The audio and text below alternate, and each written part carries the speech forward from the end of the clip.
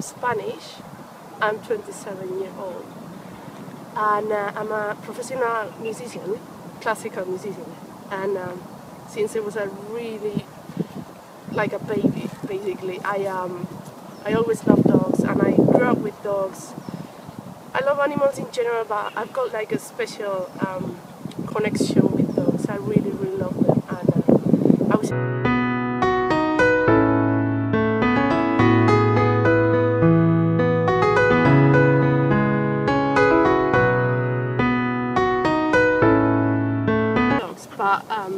Moment I think uh, because I'm new in the in this company, no one really knows me. So um, um, this is me. I'm very honest. I'm really normal, and uh, I love dogs. So if um,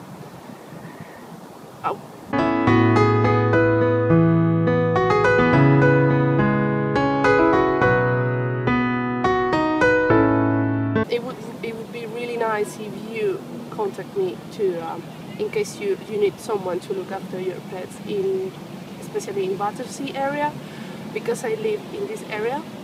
And um, I can work with any kind of dogs any kind of size any kind of age anything. Um, I would I would look after them really really like if they were mine. So please um, give me a call. I don't know. I don't know what else